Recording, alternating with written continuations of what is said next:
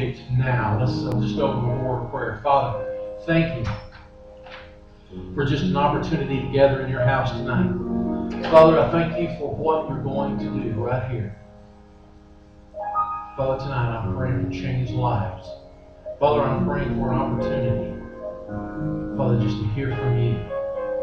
Father, you are our audience. And Father, may everything that is said, done, sung, played, thought tonight, Father, bring you glory. Father, I lift up Michael and others of the praise team tonight as they're going to lead us in worship. And Father, I pray that you will use them as your vessels. Father, draw us close to you. We worship you. You are good. In Jesus' name, amen. Amen. Michael, come lead us in worship, sir.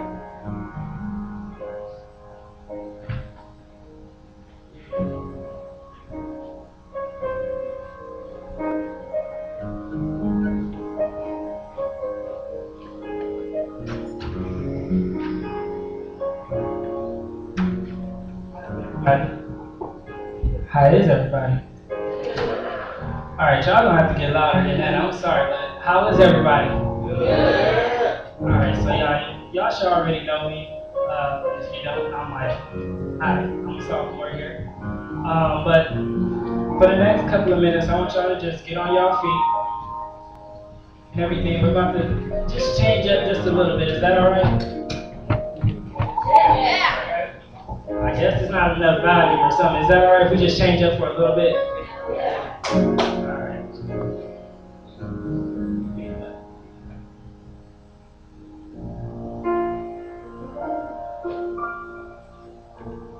On this song, I want y'all to just put y'all hands together, okay? Y'all have to really like move. Don't don't stand there all stiff. Cause how many of y'all know that God don't like dead people? Y'all, y'all missed that one. Y'all understand it in the long run, okay? The name of this song is Bless the Lord with Me, okay? It's an upbeat song, y'all too still, but it's okay. Alright, y'all ready? Yeah. I need y'all to be loud. Y'all ready?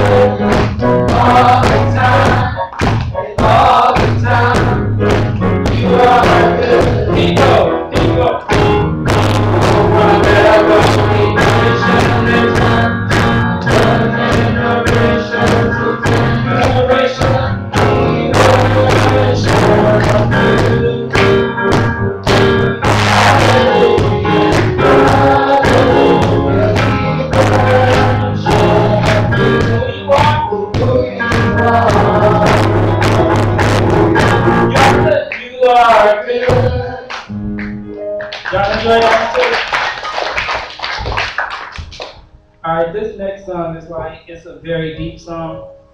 And I kind of like really take this one personal because of the fact that it's one thing I don't play around with is worship and everything. So I want y'all to just, you know, feel this song. Let this song just, you know, meditate inside of you, okay? It's a very simple song. It's called I Give Myself Away. As simple as that,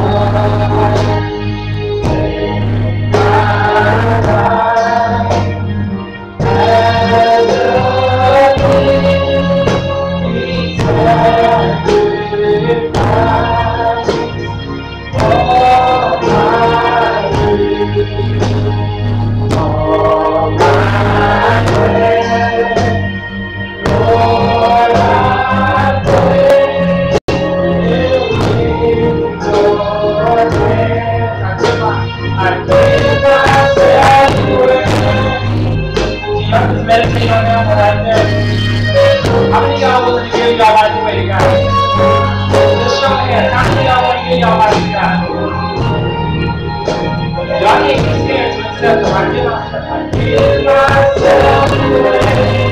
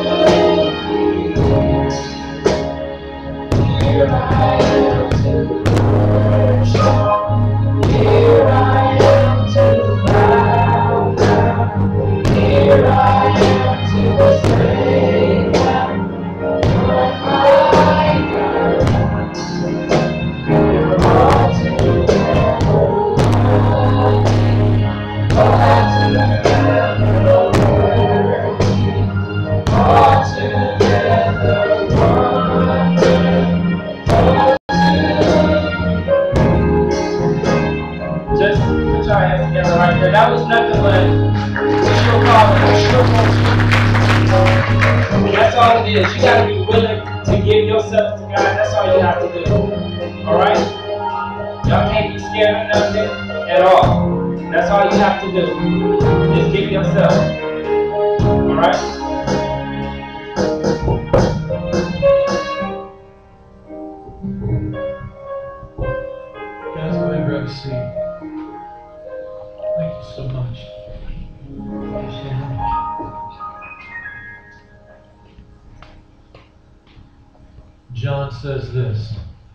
The beginning was the Word. And I'm so sorry that projector is off. But it doesn't matter because it's written here. John says, In the beginning was the Word, capital W.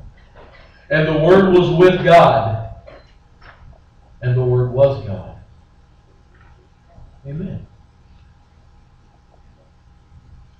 He was in the beginning with God. All things were made through him. And without him, nothing was made that was made. In him was life. And the life was the light of men. And the light shines in the darkness. And the darkness did not comprehend it. Do you believe that tonight? Seriously. Let's be, let's be real. Do you believe it? Yes? No? Do you believe it? I think we want to believe it. I do. I think we really want to give everything in our power to say, yes, I believe it. But the sad truth is, is that most of us don't. Most of us don't. Now, Travis, let's go back. Let's look at this, this entire passage once again. And we're going to break this down. Because you see, it is my belief, it is of my opinion, that if we believe the words that are on this scripture, and we're really fixing to take a deeper look at another passage tonight, that if we believe this, that our world would not look like the world it is. Our daily routine would not look like it does. It says, In the beginning was the Word, it was Jesus. The Word, capital W. And the Word was with God, and the Word was God, all together. He was in the beginning with God. All things were made through Him. And without Him, nothing was made that was made. In Him was life. And the life was the light of men. And the light shines in the darkness. And the darkness did not comprehend it. Do we believe it? Do we believe it tonight? I asked you earlier to consider the phrase book it now. And I ask you, do you believe what we just read? How many of you have ever played 21, five card stud, or anything to where you gambled? Might have been pennies or peanuts, band aids, uh, not anything. But you have in your hand something that you were guaranteed, or at least you thought were guaranteed to win. And you were willing to risk a couple band-aids here, three or four peanuts there, a couple quarters there, Taco Bell bucks here. In order to say, I say, my, what is in my hand, I'm going to lock it in place. I'm willing to go for it. Have we done that? Come on, come on. Okay. How many of you have won every time? I will talk later. I don't believe it. I just wait for. Oh, no. Now, Michael McVetti has probably come closer. I put myself through college for quite a while playing cards. I was your age, I needed something to do. I play cards.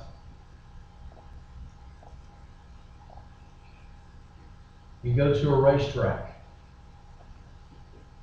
and you've got the scoop on the horses that are going to win or to place or to show. And people put large amounts of money on four-legged beasts to run faster than other four-legged beasts in order to get to the finish line. And they risk everything. They are booking it now because they believe in that horse. Never been to a horse track. Don't want to. No desire to. There's two in Arkansas. And it draws so many people. It takes away so much money from so many families that really need to be buying groceries instead of wasting their horses. A few years back, Regis Philbin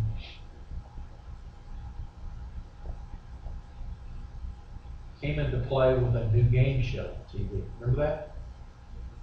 Is that your final answer?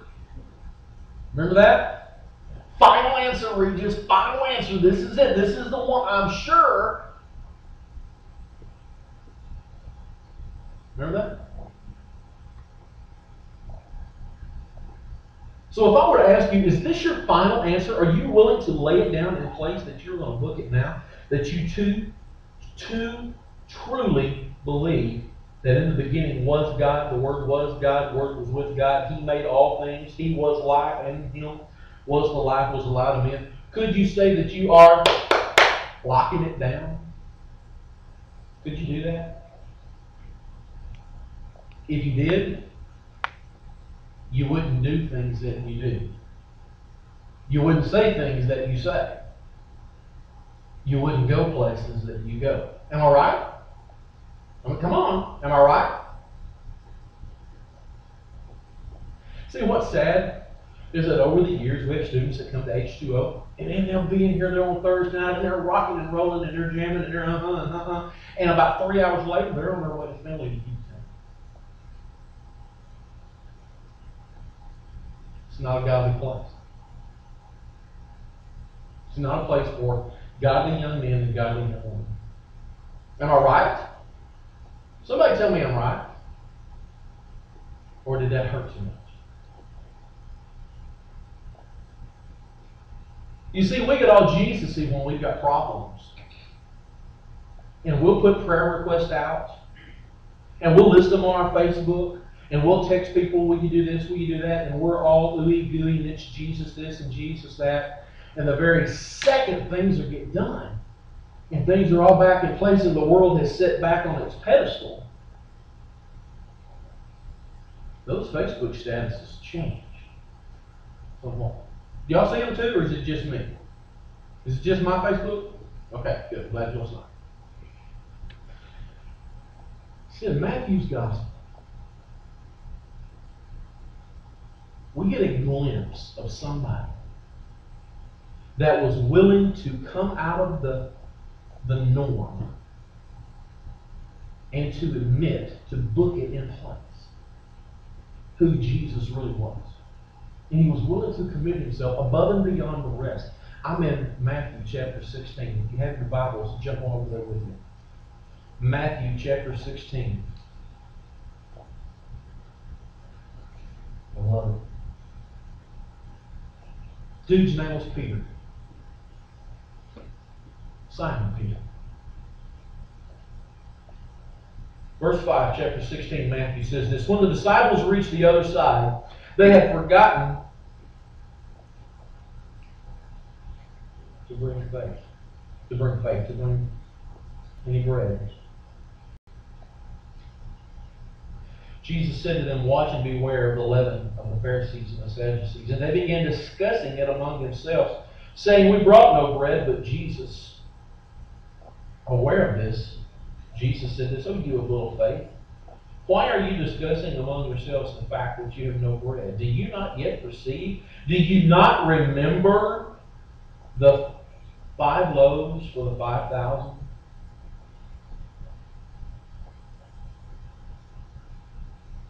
Disciples kind of had a dumb Or the seven loaves for the four thousand? And how many baskets you gathered? How is it that you fail to understand that I do not speak about bread? Beware of the leaven of the Pharisees and the Sadducees.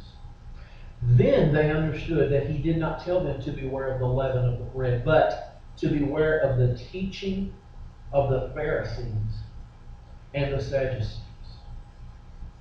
Verse 13 says, When Jesus came into the district of Caesarea Philippi, he asked the disciples, pay attention to this question.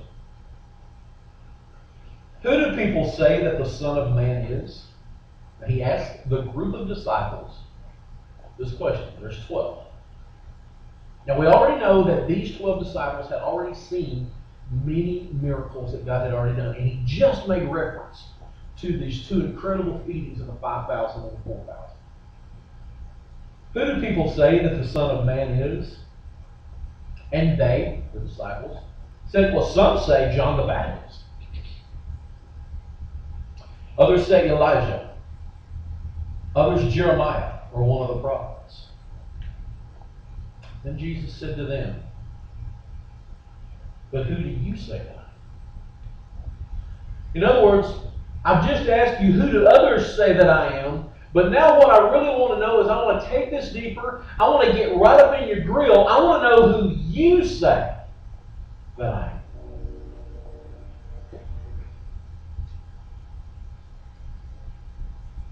Simon Peter replied, You are the Christ, the Son of the living God. And Jesus answered him, Blessed are you, Simon Barjona, for flesh and blood has not revealed this to you, but my Father who is in heaven. He got it right. And he wasn't scared to make that statement. What I'd like to have been able to have read there was that, and they all said in unison, You are the, the Christ, the Son of the living God. But it didn't say that. The other level were probably sitting around scratching their beard, scratching their hair, going, Oh my God, how do I answer this? How do I lock it in place? Do I, am I like Regis? Do I get a, a lifeline or something to, to make sure that I can get the right answer? But without question, Simon said, I got it. You are the Christ. You are the Christ, the Son of the living God.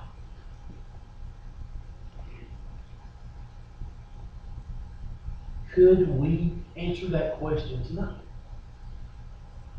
Could we lock it in place? Would our lives reflect that? Is there enough is there enough evidence in our lives that others see that would convict us of being a Christian? Ouch! That hurts, don't it?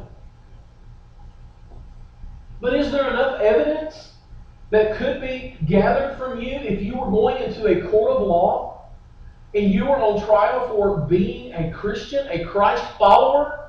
One that could say without hesitation, without question, that I've locked it in place. I want to book it now that you are the Christ, the Son of the living God. Is there enough evidence in our life as we live in our dorms, in our apartments, in our houses, and we go to class, we eat in the cafeteria, we go home, we spend time with our family, with our peeps back at home? Is there enough evidence that would convict us? Or are we just pretending in certain places and with certain groups of our friends?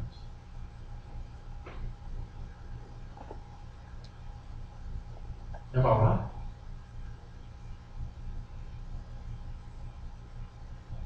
You see, Jesus made this extremely clear. He said, Flesh and blood has not revealed this to you. Never before had he explicitly laid down the truth and taught Peter one on one.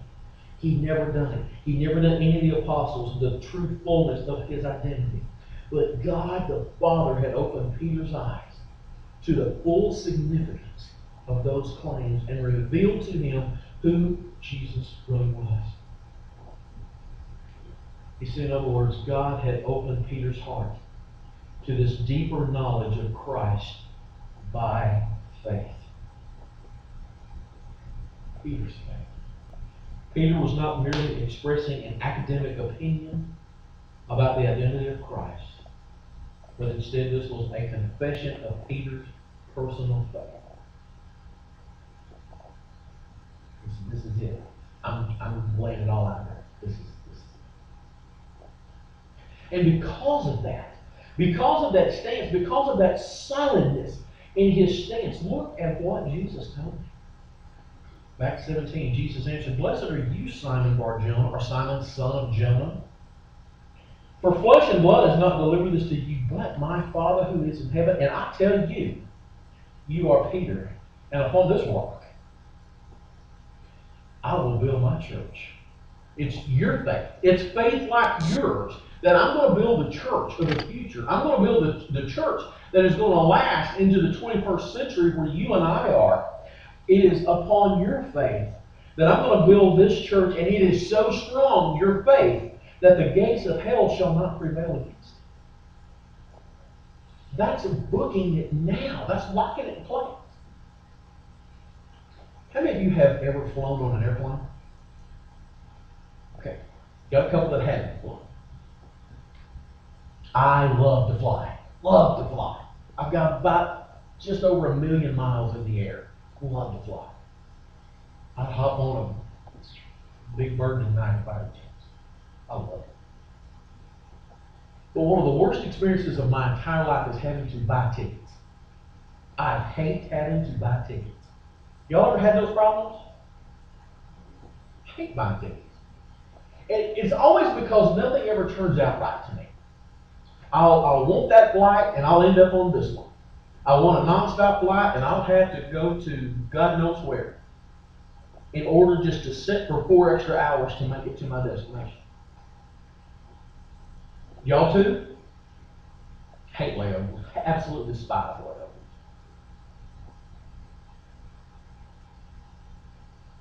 But once it's one of the hardest things you'll ever do is to cancel. You ever realize that? You ever tried to cancel a flight? they keep your money. And they laugh at you. And then they thank you for flying the friendly skies. Because once you got it down, once you booked it, that's where you're supposed to be. Now maybe it's just me, but I've had a miserable luck trying to book and change flights. Always get there, always get home. But that process of getting there, because I know where I want to go, I know the steps I want to take, I know the locations I want to get to, and the locations I don't want to have to go to. I booked flights. I booked travel.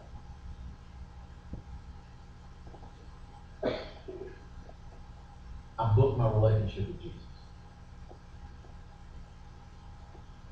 Now, are you saying, Jim, but I've got this relationship with Jesus?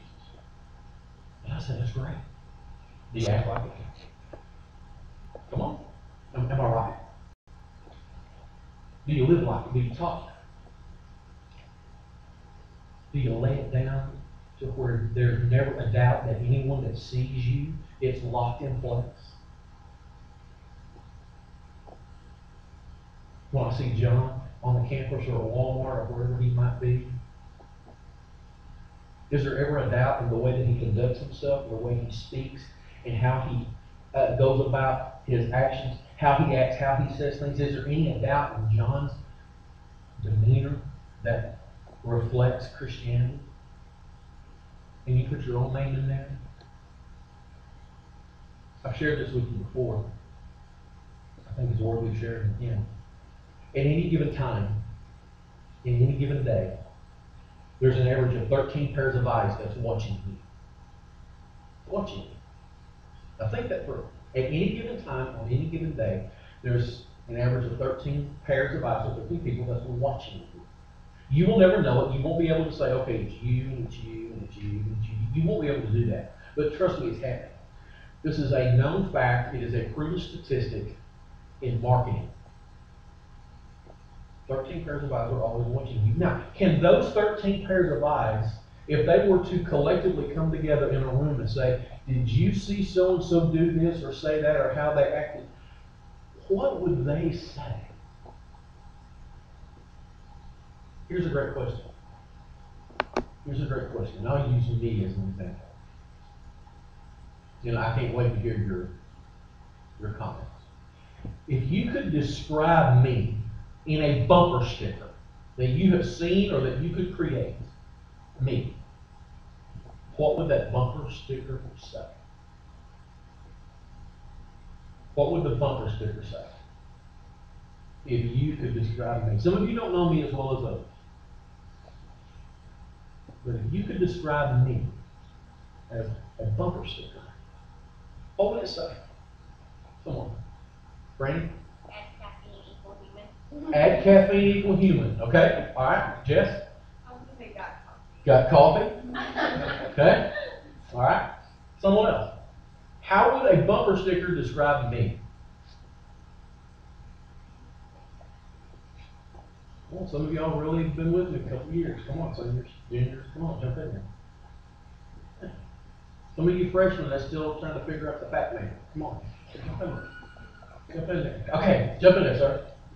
WWJD, what would Jim do? What would Jim do? What is your name? Son. I like that. I like that. That'll probably be on my status later tonight. Okay, That's probably pretty good. Okay, couple more. Bumper sticker. Bumper sticker. One more. Okay, come on. Hamburger man. Okay, let's see, that's wrong. It'd be cheeseburger man. Okay, Tyler, what you got? Don't let the car fool you, my treasure's in heaven. Don't let the car fool you. I like that. I like that. That's, that's good. One more. Julie, you got one? No, you don't want me to say one. Sure I do. Then Come on. mean to me. I have been mean to you. I have been mean to you. Okay, do all of those pretty well reflect what you think of me? Seriously, be honest. Yes? Yes? Andrew, you got one? Uh, or is this your, this is your only chance? Okay. Now, you know how I would probably describe me as a bumper sticker? Seriously. And by the way, y'all's are really good. Here's how I would describe me. Doesn't play very well with others.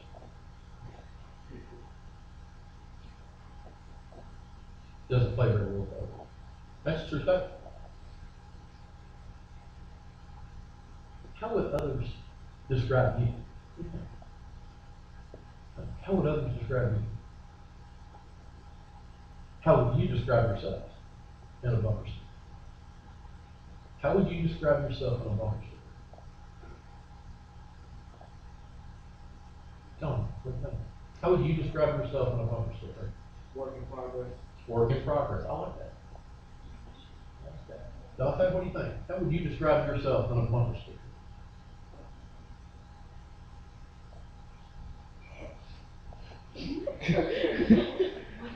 That in and of itself is a process. No idea? Travis, jump in there. How would you describe Travis in a bumper?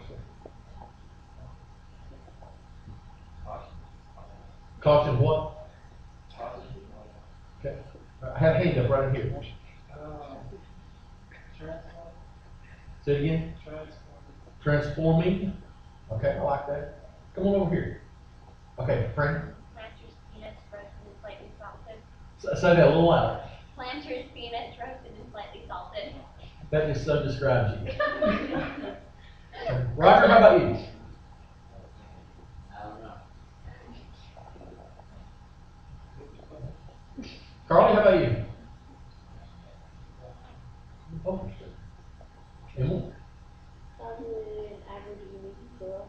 say it again. An average unique girl. An average, unique girl. Okay. All right. Julie, and it doesn't matter which one opens up first, so I'll just say Julie. Okay, I say Julie, they go this. This is so fun. Okay, jump in there, Jenna. That's okay, Lou's next. Um, mine would either be people pleaser, which I already am, and like they got pleaser, or I wear my hair on my sleeve. From a heart on okay? Mine either be cute but feisty, or I have little boy syndrome. Lou, uh, uh, you say little girl syndrome? Yeah, kind of like little boy syndrome. Yeah, you have little girl syndrome. Okay, that's, cute. I like.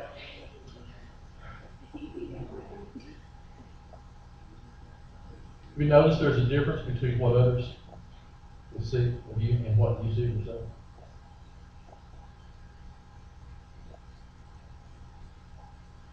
There was a difference between those twelve disciples, what others saw those twelve disciples, and what Peter come out and just blew their mind. Peter said, There's something in me that is about to erupt, and I know it, and I want everybody to understand how I feel and what I believe, because I believe that you are the Christ, the Son of the living God. And he said it unashamedly. Unashamedly. And he spoke it with boldness. So I ask you, what is keeping you? What is keeping you from looking at it right now? What is it in your life? Is it pride? Is it your reputation? That you don't want others to quite see you as a Jesus chick or Jesus did? What is it? We all got a rep, don't we?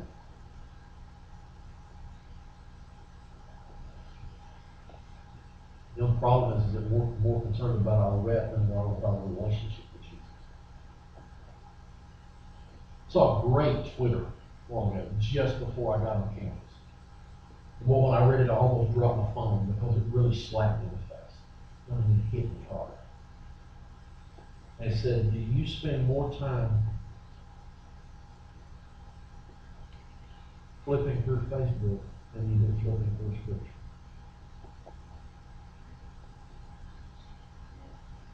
Wow. That hammered me. That hammered me.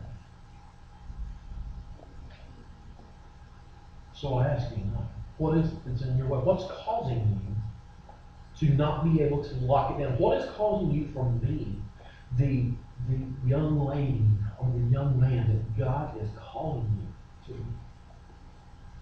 That He is laying out this everyday plan for, yet we refuse to do it.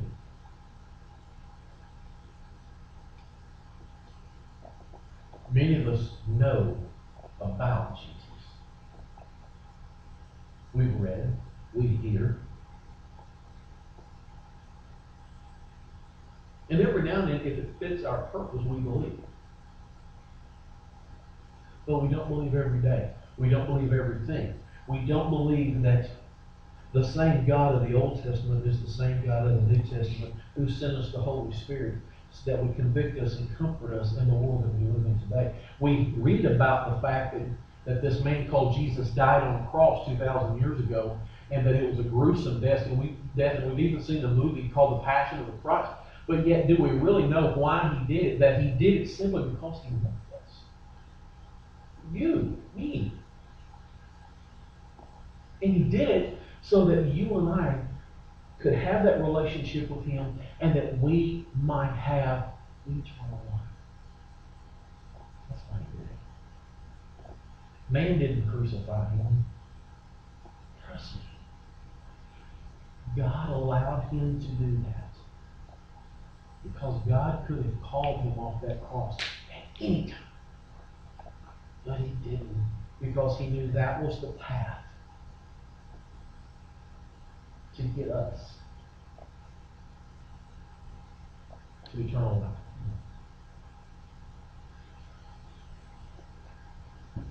Who do you say that I am? Who do you? If we put our name in the front of that, and please don't answer it out loud. It's like Jesus saying, Sean, who do you say that? Cody, who do you say that I am? Smith, who do you say that I am? Chelsea, who do you say that I am? Put you in. Because that's what is taking place. So I, I, I beg you.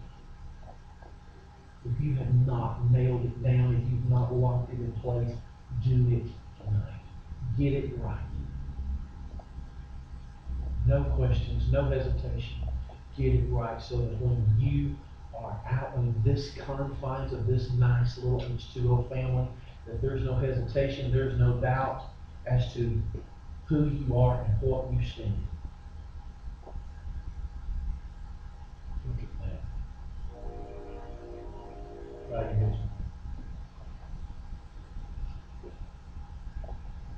Michael, would you come up here for just a second, please?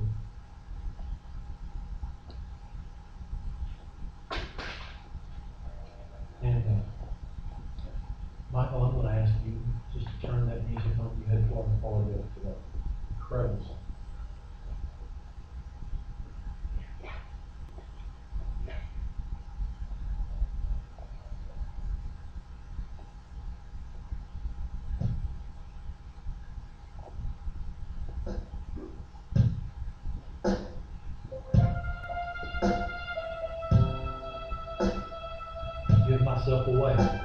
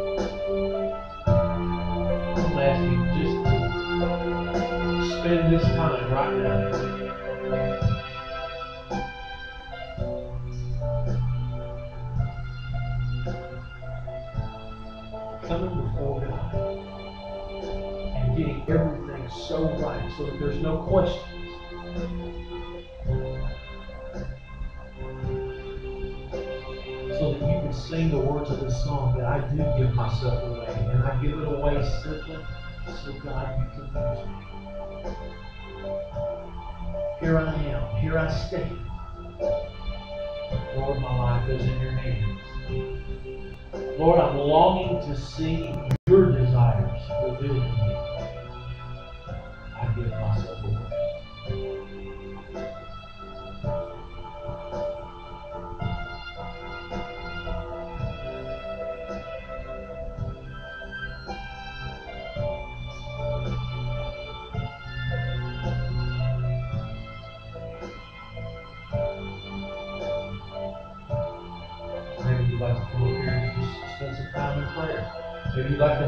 to have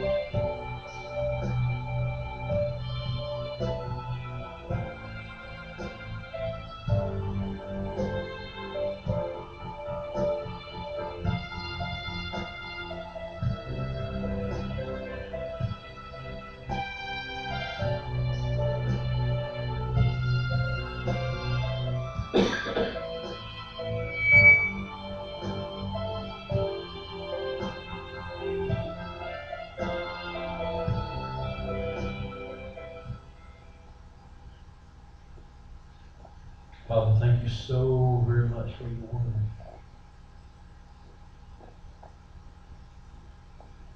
Father, help us to be able to know without question, without a doubt, and that we'll stand with boldness and with conviction to let anybody know who we think you are.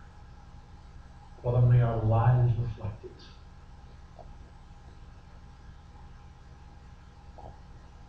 And everything that we say, do, think, where we go, how we act, how we say things.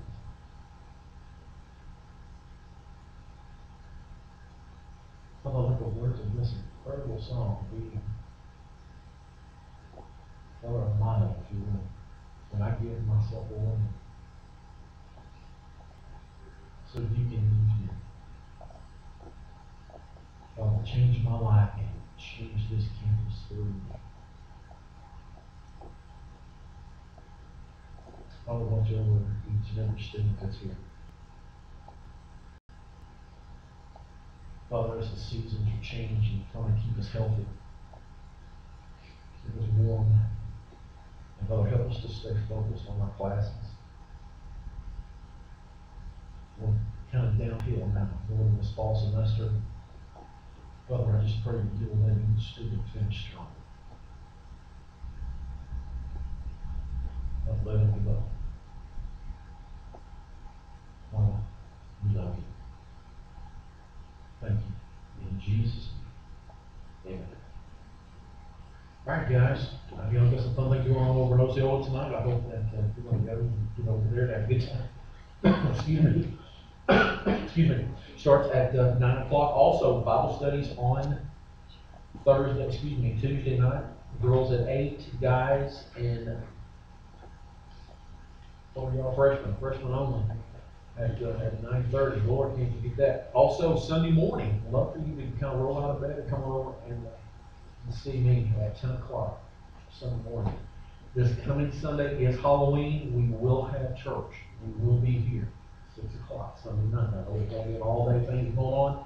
I'd just like to encourage you to break out for an hour and come on back over and hang out with us. We'll have good things. Anybody else got anything they want to share? It is senior day football game, Sunday. Okay, Jess, anything? Well, This is just happy. Okay. Okay. Yes, ma'am. Is it okay if we come to church on Sunday in costume? I would have no problem at all. I want you to church, that's the bottom line. That's it, yes, ma'am. Or costume Saturday? That's right, that's Saturday night, seven, Seven thirty. seven thirty in Osceola is the choir concert. And There's all kinds of groups and, uh, and, uh, things that's gonna sing, dance, TU crew, right, Travis? Is gonna perform Saturday night. Well, you're gonna get to see our very own Travis perform Saturday night at the choir concert. And we're all gonna whoop, whoop, whoop for Travis, okay? That's all gonna do. And it is free. Oh, it's free. Anything else? Michael, great job. doing this. Give it up for Michael. You will see Michael again.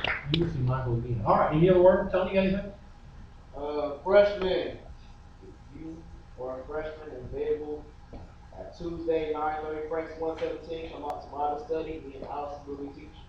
Tuesday when? Tuesday, um, nine thirty, uh, Franks one seventeen. So if you're free, available, you're only, please come out. All right. Anything, anything else? Any other word? All right, guys, let's all stand on up. I'm gonna ask Tony to dismiss us and we'll both come out of here.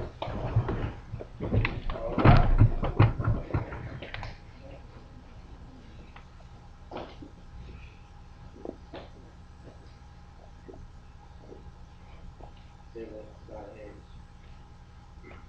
Lord, as we come through today, with expectancy in our heart, knowing that you're gonna work here for us.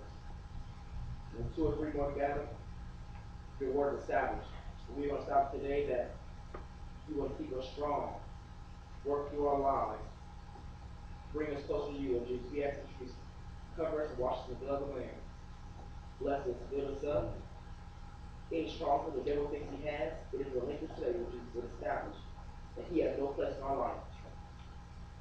Bless us, Lord Jesus, live big in us. You are Lord and Savior. Mm. Keep our hearts soft.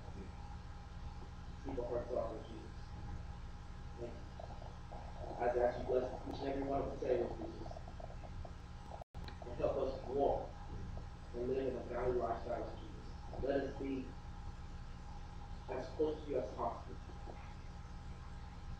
Order steps in your word. Good night, guys. Have a great week.